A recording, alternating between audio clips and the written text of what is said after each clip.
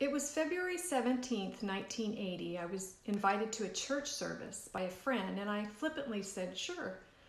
The pastor was teaching from Revelation, the last book of the Bible, in chapter 3 about Christians' names in the book of life.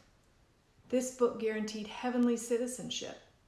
At the end of the church service, as the pastor was praying, he asked if anyone in the congregation would like to assure their name in the book of life. My heart was beating out of my chest as I knew my name wasn't in there.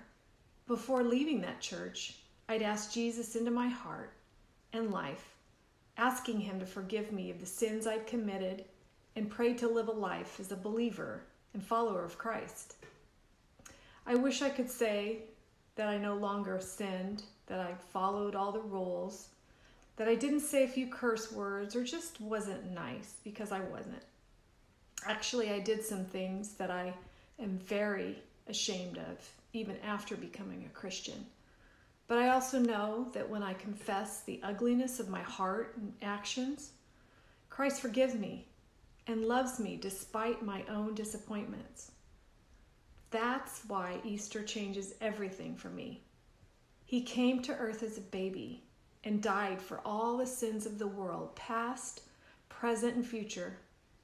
His death was horrific and agonizing, and he did it for me and for you. That's how much he loves us. But he didn't stay in the grave, he came out of it, and he resides in heaven, waiting to take those who call him Lord home. 2 Corinthians 5:17 says, Therefore if anyone is in Christ, he is a new creation. Old things have passed away; behold, all things have become new. My hope for you this Easter is that you allow yourself to become new and forgiven and loved by your Creator.